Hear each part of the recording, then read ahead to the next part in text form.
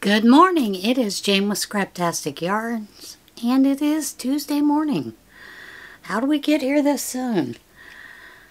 I don't know about you, but time seems to be flying really by fast.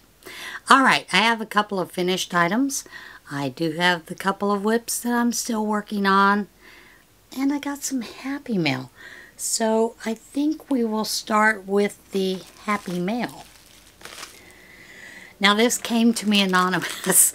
You know, the other day I showed you the Dragon's Blood Sphere, and I had complained about how um, they didn't send a stand, which normally, you know, whoever's selling crystals, stones, those kind of things, if it's a sphere, they will send you a stand.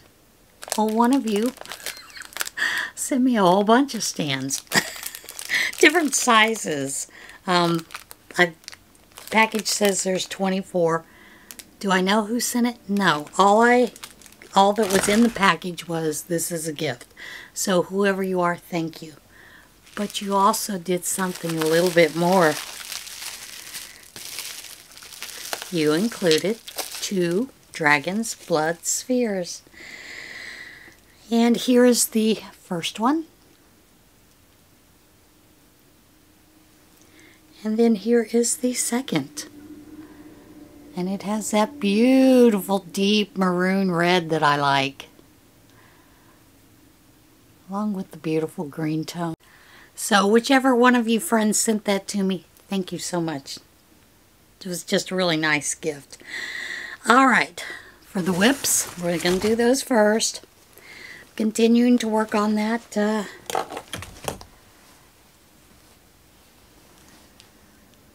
little pillow sleeve that I've been working on. And I had to tell you, this week it has been really hard trying to find time to just sit down, crochet or knit. My comfy shawl again, not comfy shawl, comfy sweater has started. And um, I didn't mention the color when I had started this.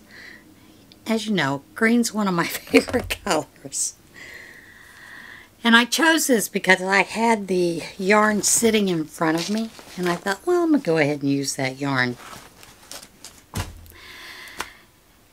And the name of that yarn, of course, is I Love This um, Yarn by Hobby Lobby. And it's Be Still. I just thought that was rather interesting. Now, some of you saw this when I had showed it on um, Roving roving, mm, roaming with Rover when we did the live.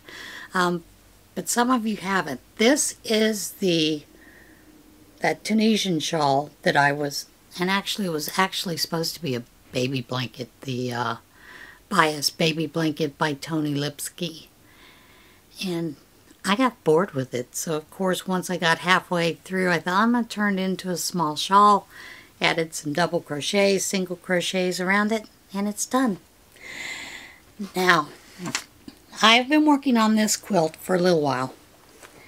And of course, because the main color is black, it is picking up all the dust, lint, and you name it. And it is the third one of these that I have made. And this is in that Amish they call it the Amish star.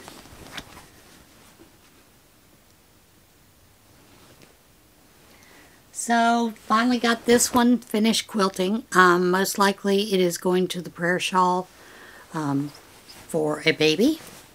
Unless, unless my little neighbor boy gets it. He keeps telling me, you know, the kids in his Head Start class, they all have little quilts he doesn't have a quilt and it upsets him.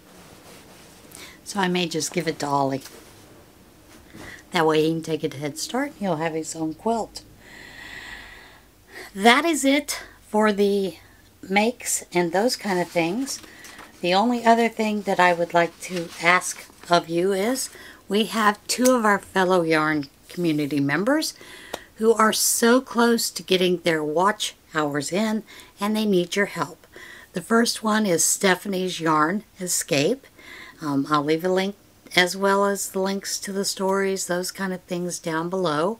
So if you would go over and watch a few of her videos, help her get to her 4,000 uh, watch hours, and also Rae's Yarn Addiction.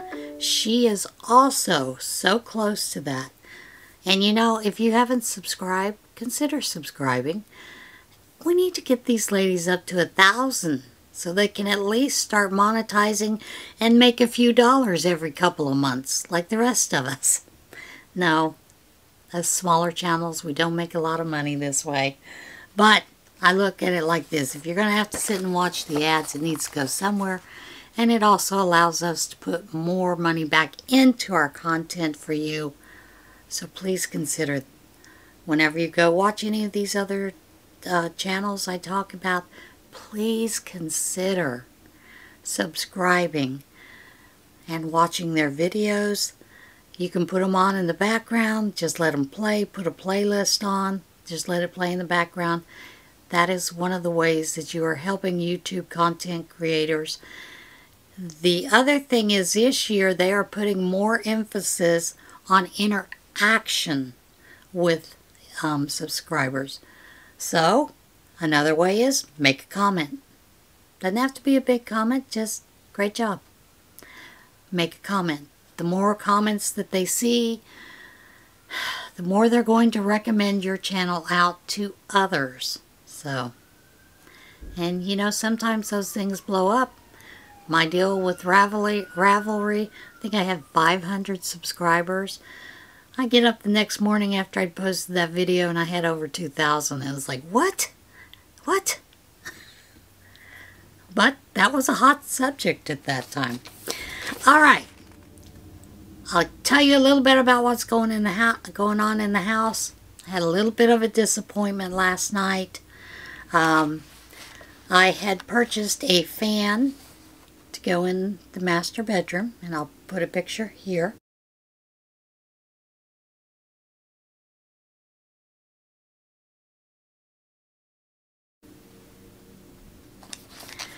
The fan came, but here's the problem. The actual part of the fan was damaged. So I contacted the company. They sent a replacement. The problem is the replacement is too big for the fan. And I'll put a picture of those two fans here so you can see.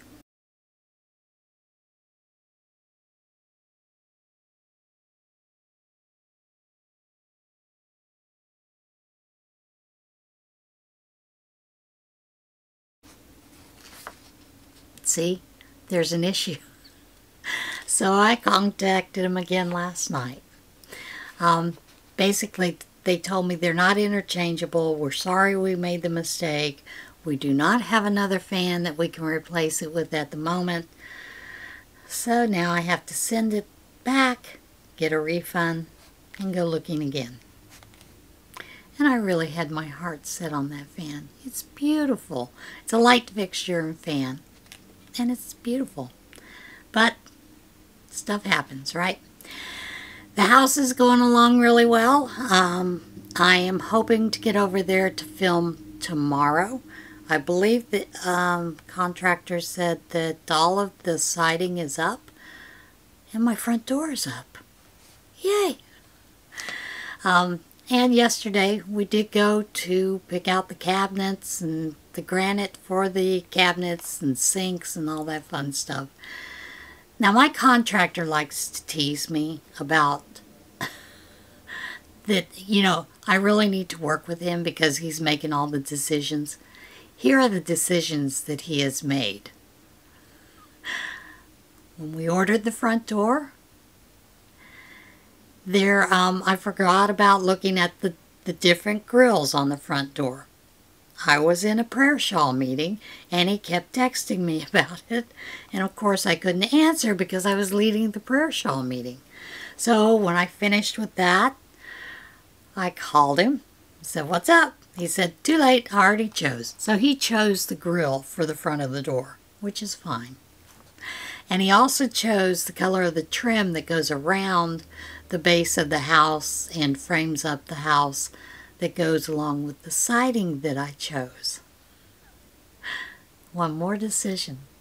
We were talking about lighting for the outside of the house. He's already made that decision because he wants it lit up very well because I live alone. So he was worried about my safety. That's the problem when you have a contractor who is also a friend. they don't always listen to your choices because um, he also ordered a lamp pole for me. I did not want a lamp pole, and I've teased him.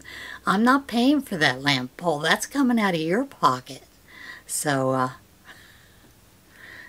there you go. All right. That is it for now. Oh, with the exception of a window. We're still waiting on one of the windows for the sunroom. Um, it didn't come with the original windows, you know, for the house. They forgot it. It was supposedly in Pittsburgh, was coming the next week, and then it was coming this week. Well, now it's not coming until February the 2nd, so who knows. The contractor and I both figured that he, they probably have another order that's being delivered here that time, so they're just going to deliver them both at the same time. All right. What in Tarnation? Are you ready for a little bit? Here we go. Dallas Zoo finds missing clouded leopard. The Dallas Zoo said its missing clouded leopard was found unharmed on zoo property Friday evening, hours after the animal had been reported missing from her habitat. The Dallas Police Department said it launched an investigation to determine if the leopard's habitat was intentionally damaged, allowing the animal to escape.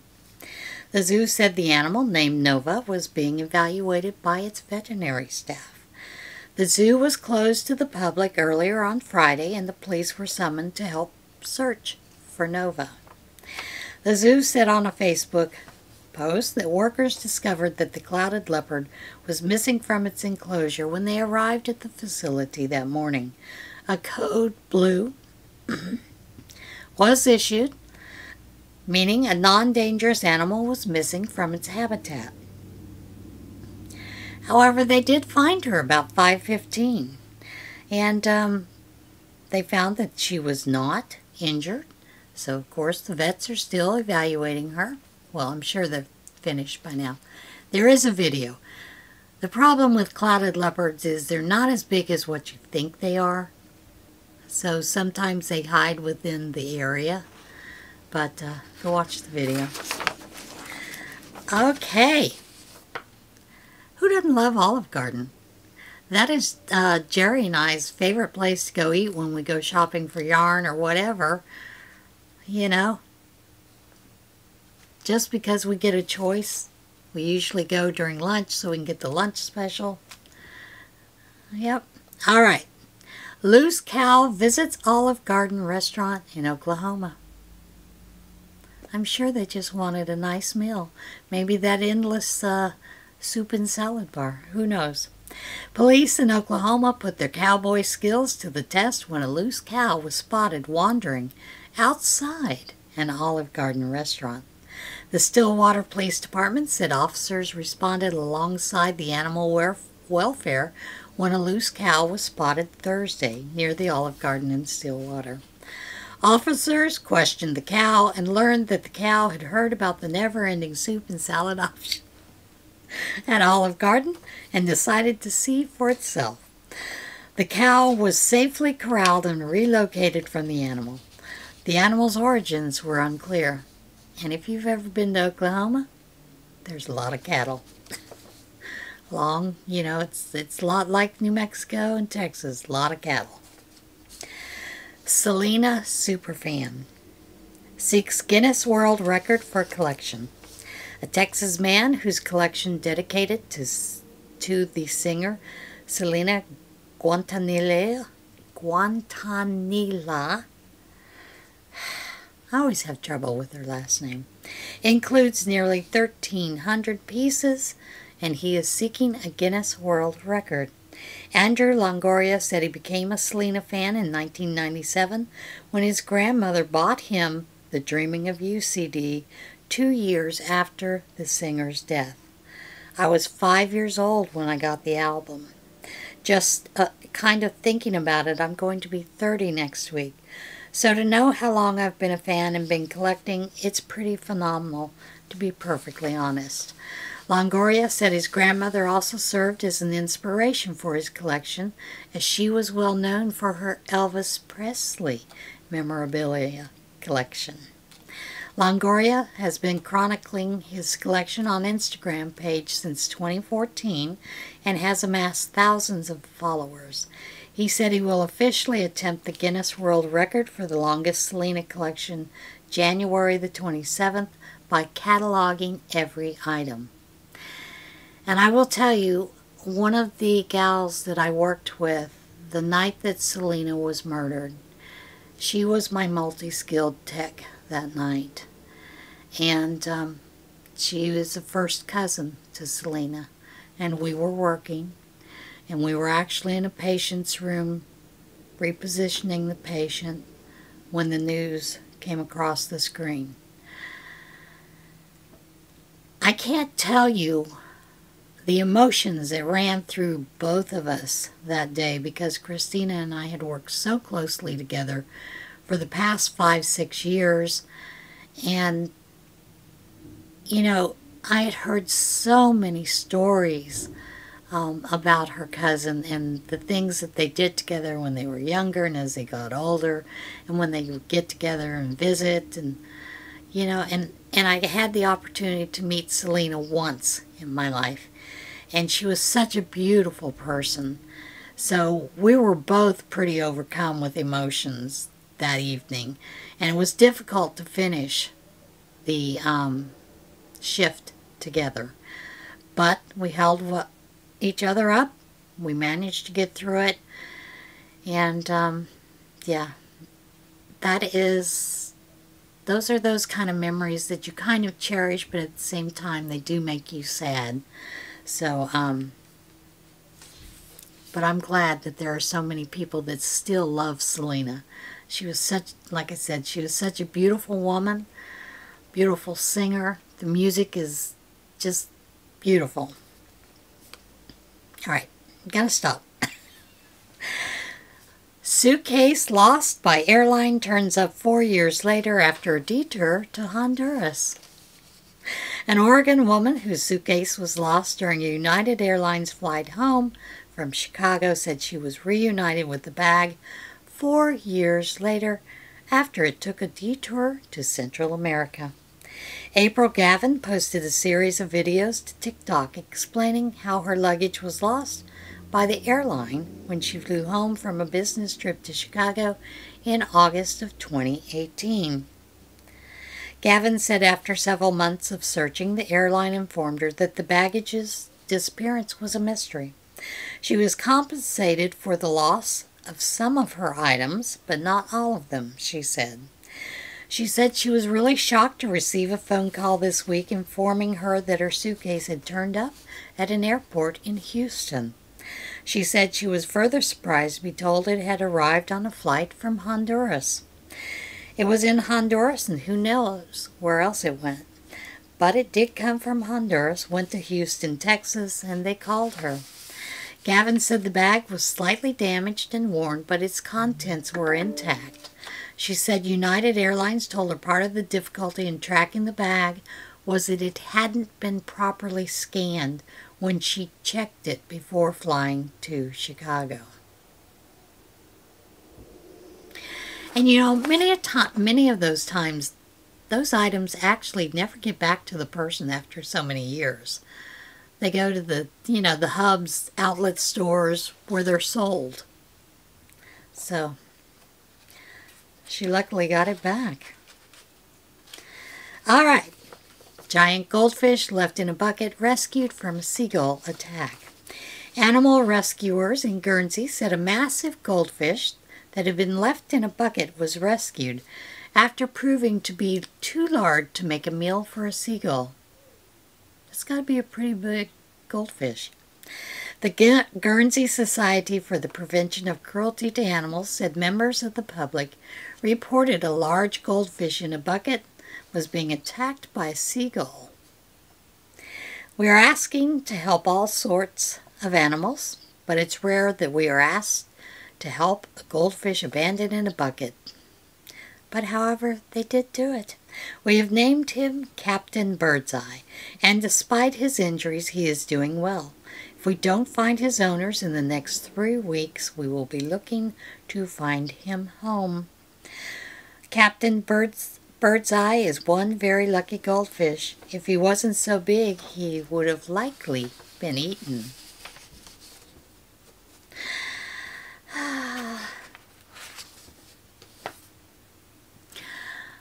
You know, many times we misidentify animals. Um, one of the times Thomas's um, advisor when we were in Blacksburg when he was getting his PhD had told us that he had this tomcat that kept bothering his cats.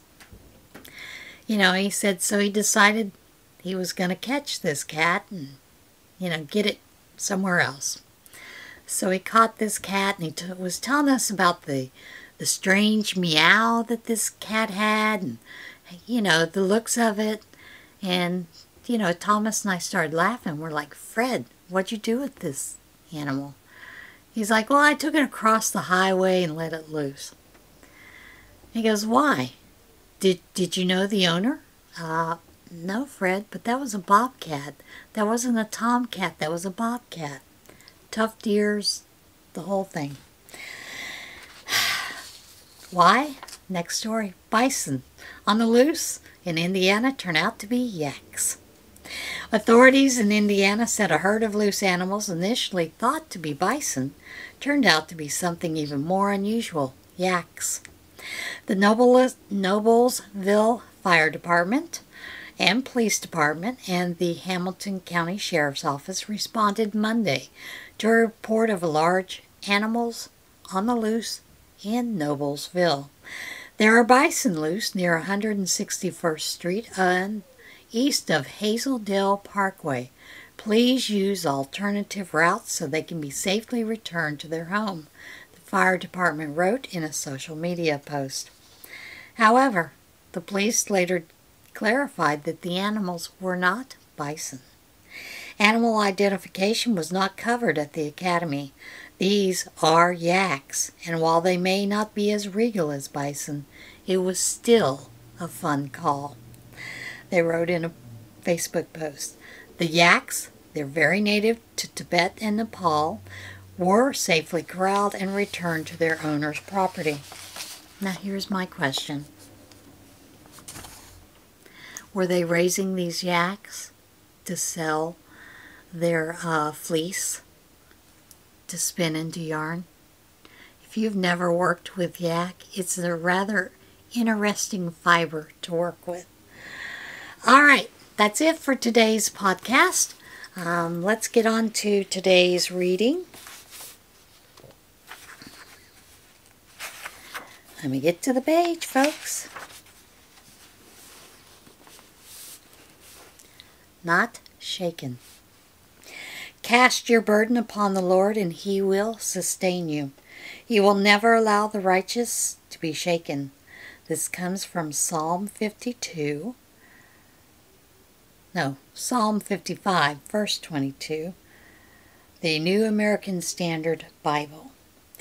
We all have different ways of dealing with worry. Some internalize it, others call a friend, and still others find a way to take their minds off it. When we bring our worry to God and lay our anxious hearts bare before Him, He will encourage us, lift us up, and sustain us.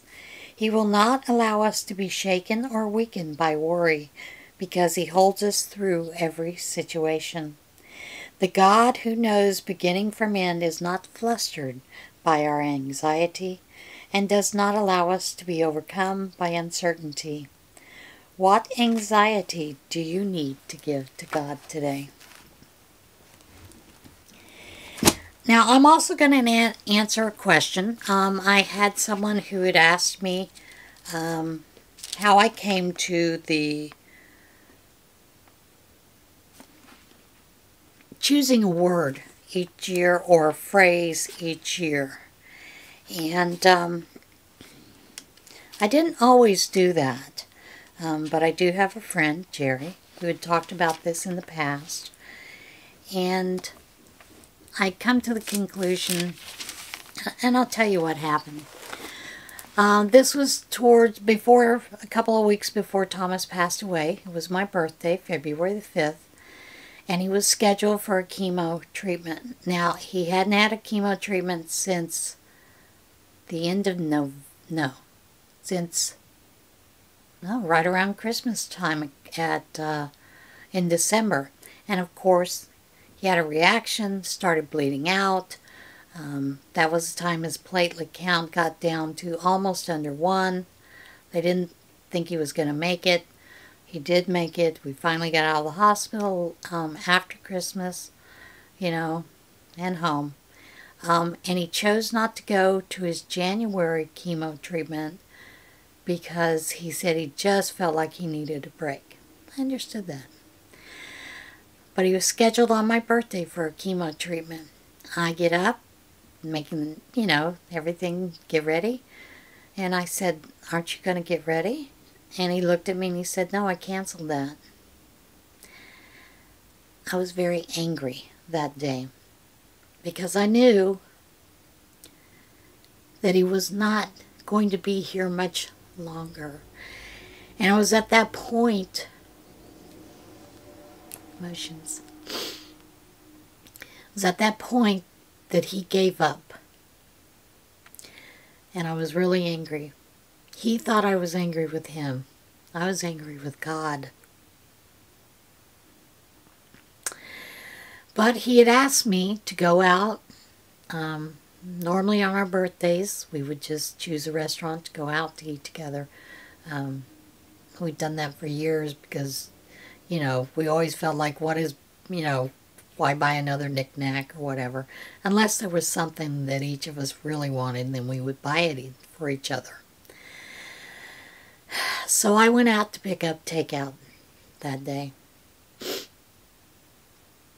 And as I was out, I found a bull, uh, billboard that had on it, Be Courageous.